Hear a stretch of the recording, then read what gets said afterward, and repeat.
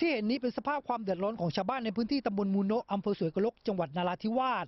ที่มวลน้ำจำนวนมหาศาลจากเทือกเขาในอำเภอสุขิรินทร์ทำให้น้ำในแม่น้ำสวยกลก ได้ไหลเอ่อล้นเข้าท่วมพื้นที่ทำให้ชาวบ้านหลายครอบครัว ต้องอพยพ ย้ายไปอาศัยที่ศูนย์อพยพ เพราะระดับน้ำที่ท่วมสูง บางหลังถูกน้ำท่วมสูงกว่า 2 เมตร ขณะที่บางหลังถูกน้ำท่วมสูงจนถึงหลังคาบ้านทำให้ไม่สามารถอาศัยในบ้านได้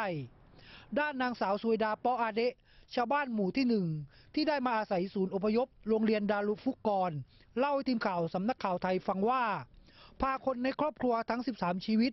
มาอาศัยที่ศูนย์อพยพ ตั้งแต่ตอนเย็นเมื่อวานนี้ เพราะสามีบอกว่าน้ำมาเร็วและแรง ให้รีบนำครอบครัวมาที่ศูนย์อพยพโดยเร็ว ก่อนที่จะออกมาไม่ได้ หลายครอบครัวที่ศูนย์อพยพบอกเป็นเสียงเดียวกันว่า แม้ว่าชาวบ้านเองจะเคยมีประสบการณ์ น้ำท่วมมาแล้วในช่วงปลายปีที่ผ่านมา กับเหตุการณ์ผนังกั้นน้ำบ้านมูโนะแตก นางสาวสวยดาเล่าว่า เหตุการณ์ครั้งนั้น น้ำยังท่วมไม่สูงเท่านี้ และน้ำยังไม่แรงเท่าครั้งนี้ทำให้น้ำท่วมพื้นที่อย่างรวดเร็ว จนไม่สามารถเก็บของย้ายไปไว้ที่สูงได้ทัน ทำให้น้ำเข้าท่วมบ้านเรือนรถยนต์และทรัพย์สินจมน้ำได้รับความเสียหายจำนวนมาก ขณะที่ในส่วนของพื้นที่เขตเทศบาลเมืองสวยกลก น้ำได้ทะลักเข้าทางชุมชนตันหยงมะลิ และเข้าท่วมหลายพื้นที่ในเขตชุมชน โดยทะลักออกมานอกเขตการก่อสร้าง เขื่อนกั้นน้ำริมฝั่งแม่น้ำโกลกของกรมโยธาธิการและผังเมือง ไหลเข้าในเขตชุมชน ตลอดแนวแม่น้ำทั้งเขตเมืองชั้นใน และย่านธุรกิจ และนอกเขตชุมชนทำให้ได้รับผลกระทบแล้ว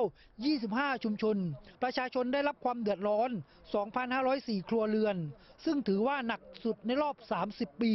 ด้านเทศบาลเมืองสวยกลก และองค์การบริหารส่วนตำบลมูโนะได้อพยพประชาชนไปอยู่ในพื้นที่ปลอดภัย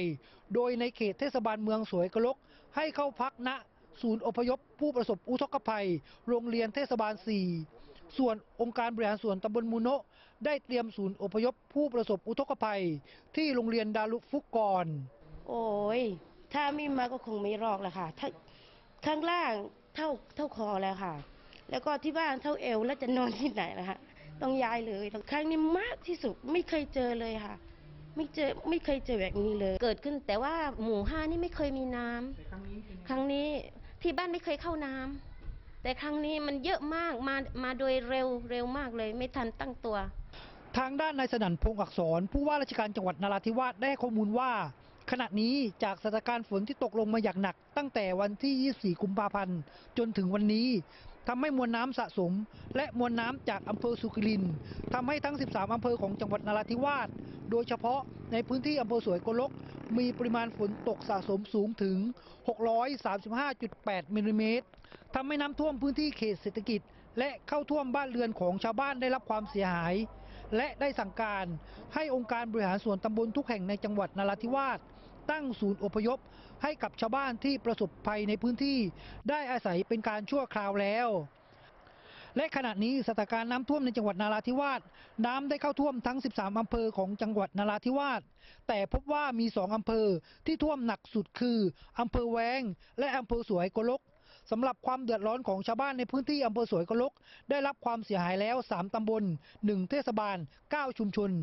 ส่วนความเดือดร้อนของประชาชนล่าสุดอยู่ที่ 114,524 คน และมีจำนวนครัวเรือนได้รับความเสียหายจำนวน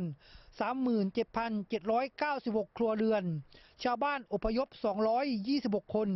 และมีผู้เสียชีวิตแล้ว 8 ราย ซึ่งรวมถึง กรณีที่รถกระบะที่ตกคอสะพาน7รายแล้ว ขณะที่พื้นที่การเกษตรได้รับความเสียหายแล้ว